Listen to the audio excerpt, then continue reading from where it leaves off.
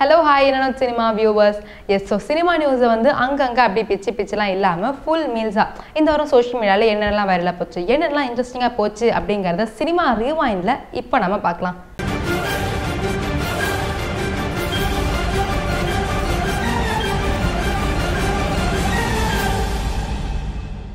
தலா அச்சத்தோட அடுத்த படம் விஸ்வாசம் அப்படிங்கிறது நம்ம எல்லாருக்குமே தெரியும். அந்த படம் இந்த வருஷம் தீபாவளிக்கு ரிலீஸ் ஆகும் அப்படின்னு சொல்லி ஈக்கராக வெயிட் பண்ணோம். ஆனால் இப்போ அந்த மூவி ஸ்ட்ரைக்லாம் வந்ததுனால ஷூட்டிங்லாம் கொஞ்சம் நின்று போச்சுங்க. ஸோ இப்போ மறுபடியும் அந்த படத்தோட ஷூட்டிங்லாம் வந்து ஆரம்பிச்சிருக்கு. ஸோ அந்த படத்தோட ஷூட்டிங்காக நம்ம தலை ஹைதராபாத் போயிருக்காரு. போன இடத்துல ஏர்போர்ட்டில் நம்ம தலை வந்து ஃபேன்ஸ் கிட்ட மாட்டியிருக்காரு. ஸோ அதில் வந்து பிக்சர்ஸ்லாம் எடுத்து சோஷியல் மீடியாவில் போட்டு வைரலாக போயிட்டுருக்கு. அது மட்டும் இல்லைங்க தேனி மாவட்டத்தில் டிஎன் சிக்ஸ்டி அப்படிங்கிற ஒரு புல்லட் பைக் நம்பரோட வந்து நம்ம தலை அஜித் இருக்கிற ஃபோட்டோவும் வைரலாக போயிட்டுருக்கு. அந்த பிக்டை வந்து திருவிழா இருக்கிற மாதிரி ஒரு செட்டப்பில் தான் இருந்திருக்கான். எப்படி நம்ம வீரம் படத்தில் வந்து அந்த ஜிங் சிக்கா சாங் வந்து திருவிழா செட்டப்பில் இருக்கும். அது மாதிரி தான் இந்த பிக்லையும் இருந்திருக்கு அப்படின்னு சொல்லி சொல்கிறாங்க மேபி அது ஒரு சாங் ஷூட்டிங்க கூட இருக்கலாம். ஆனால் விஸ்வாசம் படத்துக்கும் தேனி மாவட்டத்துக்கும் ஏதோ ஒரு கனெக்ஷன் இருக்குது அப்படிங்கிறது மட்டும் இந்த பிக்லன்னு தெரியுது. அது மட்டும் இல்லாமல் மெர்சல் படத்தில் எப்படி நம்ம இளைய தளபதி விஜய்க்கு ஏடிக்கு போட்டியாக பஞ்சலுக்கு பேசிட்டு இருப்பாங்க ஒரு பாட்டி.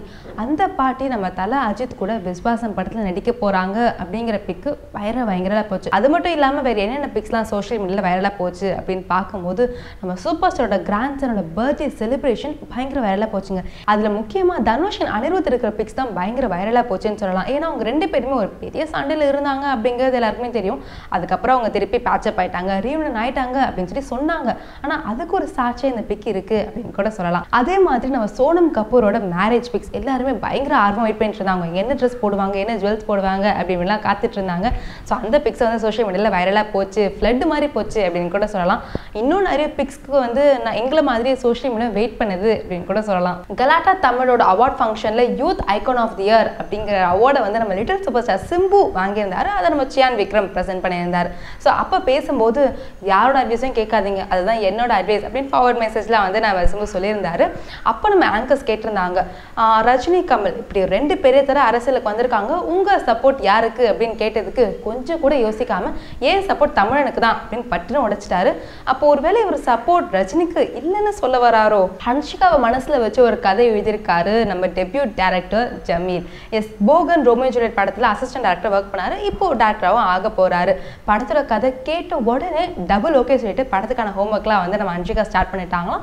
மெயின்மேல் படத்தோட மற்ற கேரக்டர்ஸ்லாம் வந்து நம்ம டேரக்டர் வந்து ஃபிக்ஸ் பண்ணிட்டு இருக்காரு இந்த படம் ஒரு ஃபீமேல் ஓரியன்ட் த்ரில்லர் ஃபிலிமாக இருக்கும் அப்படின்னு எக்ஸ்பெக்ட் பண்ணப்படுது. விஸ்வரூபம் படத்துக்கு எப்படிங்க தடை இல்லாமல் ரிலீஸ் பண்ணுவாங்க? விஸ்வரூபம் ஒன்ல முஸ்லீமை கெட்டவங்கள காமிச்சாங்க அப்படின்னு இன்னும் நிறைய பிரச்சனைகள்லாம் வந்துச்சு. ஆனால் கடைசி வரைக்கும் கமல் விட்டு கொடுக்காம முட்டை மோதி அந்த படத்தை ரிலீஸ் பண்ணி பயங்கர ஹிட்டாகவும் ஆச்சு அப்படின்னு சொல்லி கண்டிப்பாக சொல்லலாம். இப்போ விஸ்வரூபம் டூ வந்து கம்ப்ளீட்டாக முடிஞ்சிருச்சு. சென்சார் போர்டுக்கு இந்த படத்தை அமைச்சிருக்காங்க அண்ட் அவங்க வந்து செவன்டீன் சீன்ஸை மொத்தமாக இல்லைன்னா டெலிட் பண்ணணும் அப்படின்னு சொல்லி சொல்லியிருக்காங்க. ஆனால் படக்குழு ஒத்துக்கல. முடியாது அப்படின்னு சொல்லி சொல்லியிருக்காங்க. கடைசியில் யார் வின் பண்ணுறா அப்படிங்கிறது படம் ரிலீஸ் ஆன அப்புறம் நமக்கே தெரிஞ்சிடும் மீன்வேல் இந்த படத்துக்கு யூஏ சர்டிஃபிகேட் கிடச்சிருக்கு அப்படின்னு சொல்லி ஒரு நியூஸ் வந்திருக்கு.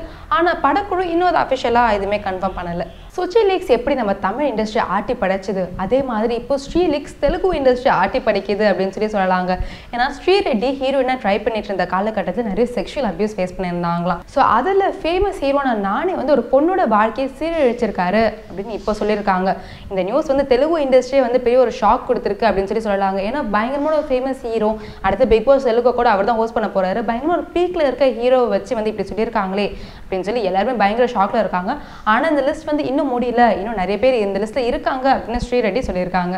சிவகார்த்திகேயன் தன்னோட அடுத்த பட வரிசையில் வந்து எஸ்எம்எஸ் படத்தோட டேரக்டர் ராஜேஷ் கூட தான் பண்ண போகிறாங்க அப்படின்னு சொல்லி லாஸ்ட் வீக் நாங்கள் உங்களுக்கு சொல்லியிருந்தோம். ஸோ இப்போ இந்த வாரம் அதில் என்ன நியூஸ் அப்படின்னு பார்த்தா அந்த படத்தோட ஹீரோயின் அஃபிஷியலாக கன்ஃபார்ம் ஆயிட்டாங்க. எஸ் நியூவாக ஒரு கப்பல்லாம் இல்லைங்க. ஆல்ரெடி நமக்கு தெரிஞ்ச கப்பல் தான். ரொம்ப சக்ஸஸ் ஆன ஒரு கப்பல் ராஜேஷோட லாஸ்ட் டே ஃபிலிம்ஸ் வந்து பெருசாக ஹிட் அடிக்கல. ஸோ இந்த படத்தை வந்து கண்டிப்பாக ஹிட் கொடுக்கணும் அப்படின்னு சொல்லி ஒரு பயங்கர தீவிரமாக இருக்காரு. ஸோ அதனாலே இந்த சக்ஸஸான கப்பலும் சூஸ் பண்ணியிருக்காரு அப்படின்னு சொல்லலாம். ஸோ யார் அப்படின்னு பார்த்தா நம்ம லேடி சூப்பர் ஸ்டார் நயன்தாரா தான். எஸ் வேலைக்காரன்லாம் அவங்க பேர் வந்து செம்ம ஹிட் அடிச்சது. ஸோ அந்த ஹிட் காம்பினேஷன் மறுபடியும் ஒர்க் அவுட் ஆகும் அப்படின்னு சொல்லி ராஜேஷ் நம்பியிருக்காரு போல. இப்போ இருக்க எஜுகேஷன் சிஸ்டம் சுத்தமாக சரியே இல்லை அப்படின்னு சொல்லி நம்ம சூர்யா வந்து பொங்கியிருக்காரு. என்ன அப்படின்னு பார்த்தா அண்ணா நூலகத்தில் அகரம் ஃபவுண்டேஷன் சார்பாக ஒரு நூல் வெளியீட்டு விழா நடந்திருந்தது. ஸோ அதில் வந்து தகுதியும் திறமை இருக்க குழந்தைங்க கண்டிப்பாக படிக்கணும். காசு இல்லை. அவங்க அம்மா அப்பா படிக்கலைன்றதால படிக்கலை அப்படிங்கிறதுலாம் இருக்கக்கூடாது அப்படிங்கிறதுக்காக தான் நாங்களே அகரம் ஃபவுண்டேஷன் ஸ்டார்ட் பண்ணோம். இப்போ இருக்க எஜுகேஷன் சிஸ்டம்லாம் வந்து சுத்தமாக சரியே இல்லை. கவர்மெண்ட் ஸ்கூல்ஸ்லலாம் எங்கே டீச்சர் இருக்காங்க? பசங்களை தான் தானாக படிக்கிறாங்க அப்படின்னு சொல்லி சூர்யா சொல்லியிருந்தார்.